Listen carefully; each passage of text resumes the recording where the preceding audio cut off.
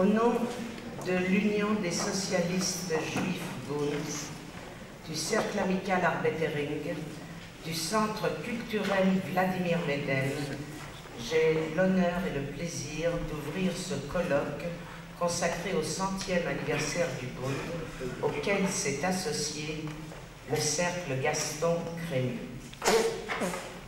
Au cours de ce colloque, des historiens, des sociologues, des enseignants commenteront divers aspects de ce qu'a représenté l'Union des socialistes juifs Bund, qui a bouleversé l'histoire des juifs d'Europe de l'Est et a occupé une place unique dans l'histoire du socialisme. Pourquoi Comment l'histoire du Bund, cette épopée ainsi qu'on l'a parfois qualifiée, est-elle aujourd'hui ignorée ou mal connue, apparemment occultée, aussi bien du côté des tenants de l'histoire officielle du mouvement ouvrier que des historiens autorisés ou dits autorisés du judaïsme. Il appartiendra peut-être aux différents intervenants de trouver une ou plusieurs réponses à ces troublantes interrogations. Quant à moi,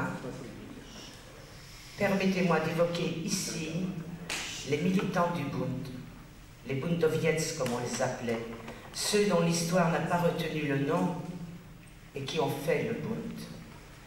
Je pense à ces dizaines de milliers de jeunes gens et de jeunes filles qui, avec enthousiasme, ont rejoint les rangs du Bund en Russie, puis en Pologne et en Lituanie. Je pense à ces jeunes prolétaires qui ont dû rompre avec une tradition religieuse aliénante, entrant souvent par là même dans un conflit familial douloureux pour adhérer à une idéologie libératrice et lutter pour un monde meilleur.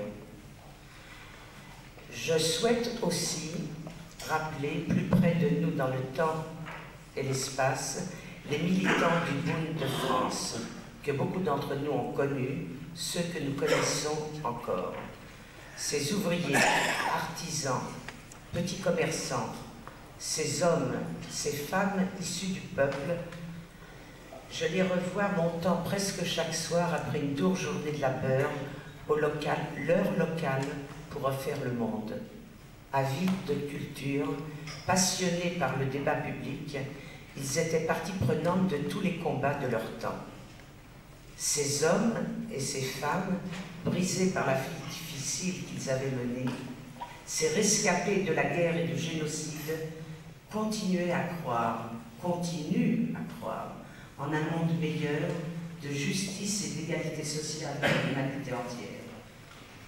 Ils terminaient presque invariablement tous leurs discours par Schönere, à Bessere, von Gleichheit, von Joischer, von Sozialisme, c'est-à-dire pour un monde plus beau, meilleur, un monde d'égalité, de justice, de socialisme. En les évoquant ainsi, une scène a surgi de ma mémoire, je voudrais vous la raconter. C'était il y a quelques années à une de ces manifestations au mur des fédérés, auxquelles le Bund ne manquait jamais de participer. Un groupe de bundistes plus âgés marchait en tête de la délégation, petit pas mesuré et lent, et là, courbé sous la pluie. En arrivant devant le mur des fédérés, ils se sont tous redressés. Le drapeau rouge du Bund a flotté haut dans le ciel. Les poings se sont levés fermes et droits. Et ils ont entonné une voix vibrante des jeunes l'international. En yiddish. À tous ces militants à qui le Bund, disait-il, avait tout donné, à ces Bundovies qui ont fait du Bund ce qu'il était, à ceux qui quotidiennement ont tissé sa légende, c'est à eux que je voudrais, avec ferveur et reconnaissance, dédier cette journée. Je vous remercie.